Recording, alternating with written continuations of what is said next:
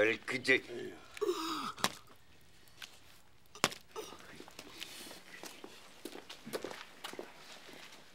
이런 배은망덕한 놈. 네 놈이 왜 불려왔는지를 모른단 말이냐. 오늘까지 나 몰래 챙겨드린 돈이 얼마인지 빨리 말하거라. 아이, 돈이라니 소인 무슨 말씀을 하시는지 모르겠습니다. 어디서 발뺌을 하느냐? 그 많은 병자들을 집으로 끌어들였으니 의당 돈을 받았을 게 아니야. 제 발로 찾아온 병자들한테 제가 아는 대로 몇 가지 처방만 일러줬을 뿐 돈 받은 사실은 없습니다. 저런 저 뻔뻔한 놈. 내가 이미 사람을 시켜 네놈 집을 지켜봤는데 어디라고 거짓말을 해? 자네가 말해보게. 예. 도지도전님 분부로 내가 자네 집 문간을 밤낮으로 지켜봤어. 내가 본 병자만 하루에도 십수 명이 넘으니 그동안 줄 잡아 수백 명은 되겠지. 어. 수백 명이라니 그게 무슨 소리요? 내 집은 마을 밖에서도 출입이 뻔히 보이는 곳이요. 하루에 그리 많은 사람이 드나들다니 대체 나도 모르는 수백 명의 사람을 누가 보았다는 거요? 이놈이 거짓말을 하네. 아이 이 자식! 니놈이 의원 옷하는 소문이 난 지가 언제인데 그 정도도 안 되려고?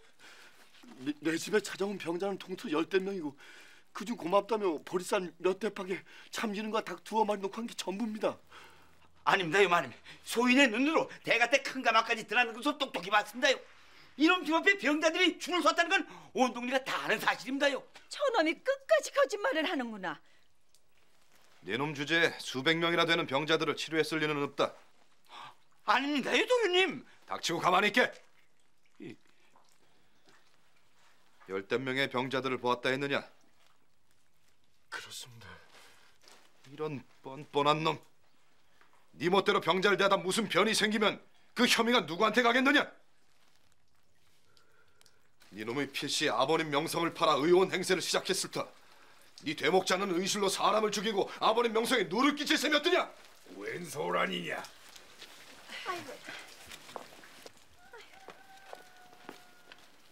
아유, 마침 잘하셨습니다.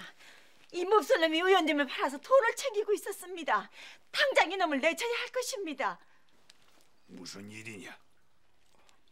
이놈이 아버님의 명성을 팔아 병자들을 치료했다 합니다. 집으로 찾아온 병자들을 봐주고 돈을 받았다고 합니다. 아닙니다. 저 소인은 닥쳐라! 도지가 한 말이 사실이냐? 집을 찾아온 병자들을 봐준 사실은 있으나 돈을 받은 적은 없습니다. 이놈이 네 앞이라고 거짓을 하려느냐? 그만 물러가 있으시오. 네가 의원이냐? 네 입으로 병자를 보았다고 하지 않았느냐? 네가 의원이야? 아닙니다. 의원도 아닌 놈이 어찌 병자를 볼 수 있단 말이냐? 네 놈이 사람의 목숨을 우습게 여기지 않았다면 어찌 그런 오만을 떠올 수 있단 말이야?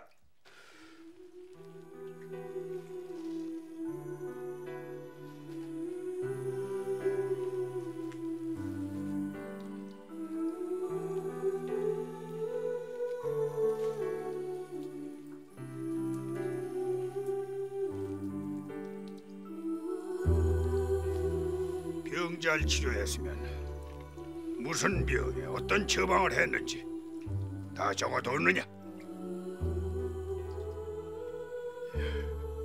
지금 당장 가져오너라.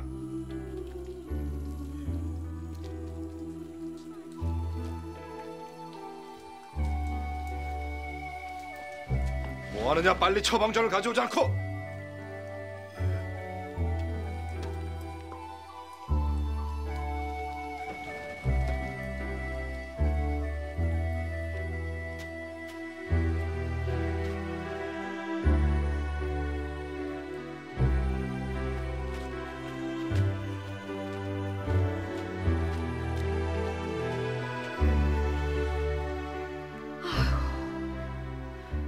왜 이리 소식이 없노?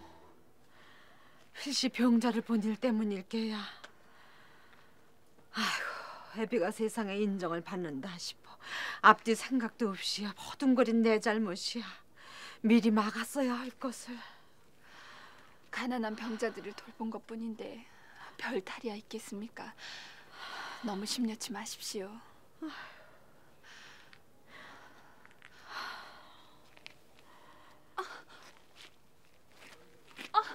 그러시오? 아닙니다.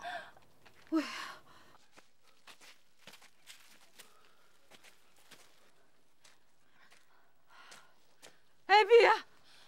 서방님.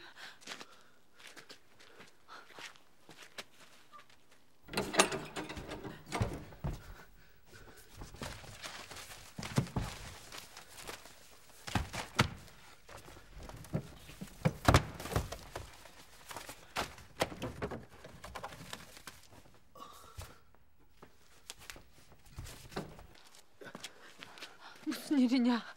무슨 일인데 네 몰골이 모양이야? 별일 아니니 심려 마십시오. 걱정 마시오.